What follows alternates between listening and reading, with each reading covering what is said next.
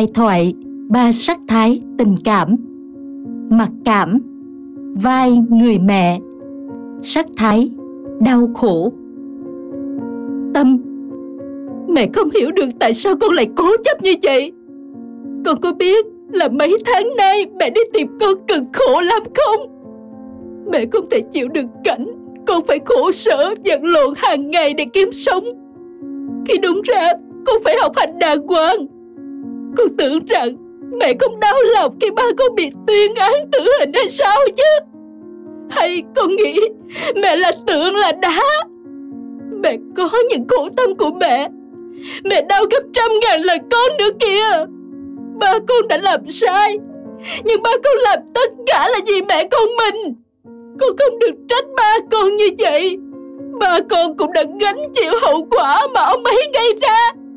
Vậy con còn muốn gì nữa chứ? Bây giờ Bây giờ mẹ phải van xin con thế nào con mới chịu về nhà? Hay là con muốn mẹ chết con mới vừa lòng phải không? Mẹ đã nói rồi, Những gì không phải của mình, Mẹ đã trả lại cho người ta. Bây giờ, Mẹ đã sống bằng những gì do mình làm ra. Mẹ sẽ lo cho con bằng chính sức lực của mẹ. Tại sao con vẫn không chịu nghe lời?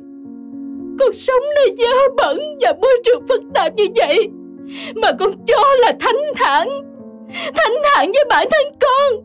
Vậy còn mẹ Mẹ phải khổ tâm với con đến chừng nào đây?